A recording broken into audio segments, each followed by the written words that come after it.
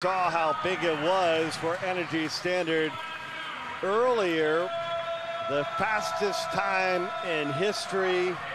And they got a big jackpot because, again, if you can jackpot relays, double points, even better. And obviously, at the moment, tight battle at the top.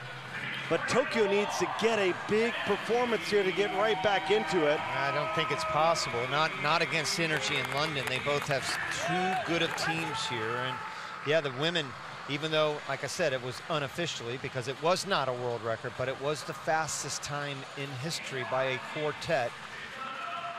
And now, who knows? World record for men here is 303 flat by the United States.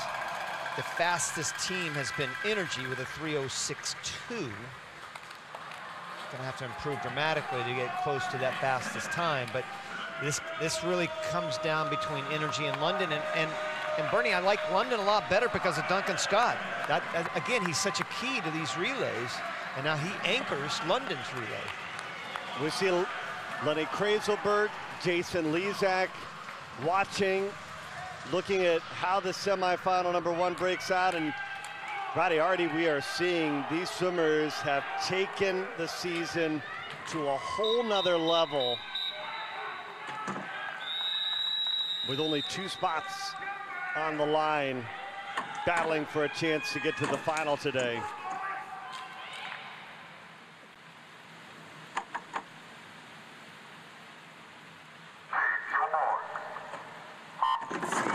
I think the key now, I, I, was going to say Duncan Scott before, but no, he's not the key anymore. I think it's Nakamura, the new guy they just brought in from London.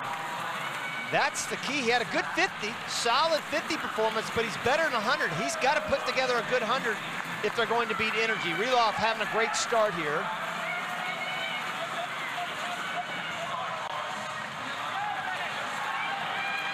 Ben Proud in lane number three. Rylov in four. Nakamura, their newest addition, swimming right there in lane number five. Certainly adds some depth to London's team. There goes Rylov, back halving it. He was fourth at the 50. He's going to be first at the 100, and Nakamura has a good job. He's third, 47-4. Rylov 47-2, not especially fast, and that's really good news for London because Rylov wasn't a 46 plus like he's been before. All right, it's le Clos in four and Vekovishchev in five now. And it appears Vekovishchev has London into the lead. Yeah, Vekovishchev, he's been 46 plus. le Clos has been 46 plus, so he's just got to keep it close for Manaudou. Manaudou is at the end, but we saw what Duncan Scott did earlier as we get ready to the third leg. Those are the two guys that anchor. Duncan Scott had the 200 IM 20 minutes ago. How much does that take out of him? Third leg, though. Here's the third leg, 46-4 and 46-1 for Prokopacek. 46-4 for le Clos. And the big news for Rowdy is that right now, Energy Standard is 2-3.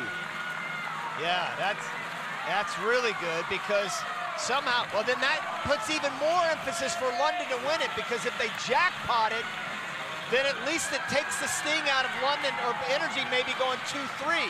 But they've got to win, and boy, right now, it, I would say you'd have to give Duncan Scott a little bit of a lead, and it doesn't look like Kusch is going to be able to do that. Energy, energy, energy. Back, giving the lead to Manaudou. Half a second the difference. Boy, Kolesnikov, so good. 45-7 to 46-3 for Kusch. So Kush was solid. He did what he had to do, but that's that 45-7 just kills you. Only guy to break 46 up to this point, and that's just a killer. It just, when you when you go into one of the fastest guys in history, it was like Sjöström. You know, you, you can't go into Sjöström doing that, and right now, Duncan Scott trying to make it interesting. He's got a better last 25 historically, but nah, not gonna happen. James Gibson, the relay master. Energy standard, two for two. 305.72. And Energy Standard goes first and fourth. Big time performance in the relays for the defending champions who remain on top.